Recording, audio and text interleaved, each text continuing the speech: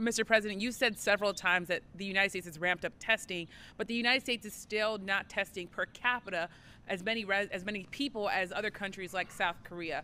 Why is that, and when do you think that that number will be on par with other countries? Yeah, well, and it's, Dr. it's very much on par. The, the, look, we have done more tests. What I didn't, I didn't talk about per capita.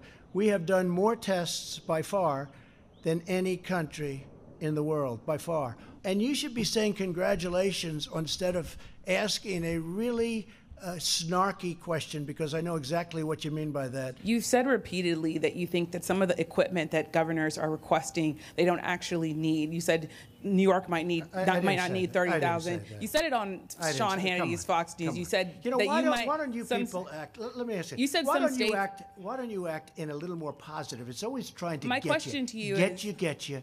And you know what? That's why nobody trusts the media anymore. My That's question why to you people, is how is that going to Excuse me, you didn't hear me. That's why you used to work for the Times and now you work for somebody else. Look, let me tell you something. Be nice. Don't Mr. be President, my threatening. question Don't is- be threatening. My first question is you said that you don't take responsibility, but you did disband the White House pandemic office, and the officials that were working in that office left this administration abruptly. So, what responsibility do you take to that? And the officials that worked in that office said that you that the White House lost valuable time because that office wasn't disbanded. What do you make of that?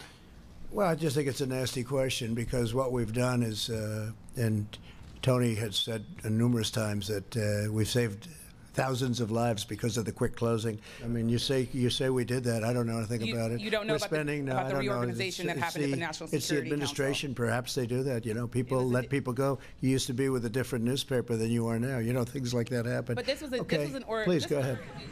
What do you say to Robert Mueller? He said that, that, that you're the lying from your investigation. Let me, let me just tell you something. I, I know you're always you always have a question. He said that lying, he said that lying by White House aides and Camp aides. You mean my White House aides lied? What about his aides? What about what about Mueller's aides? He didn't say that at all. You're untruthful when you ask. You are untruthful when you ask that question.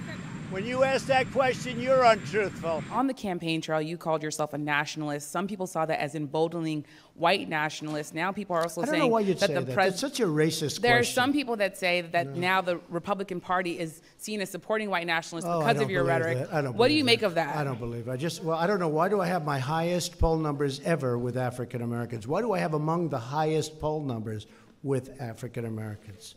I mean, why do I have my highest poll numbers? That's such a racist question. Honestly, I mean, I know you have it written down and you're going to tell me. Let me tell you, it's a racist question. And Mr. Uh, President, I I love ask. it. You know what the word is? I love our country.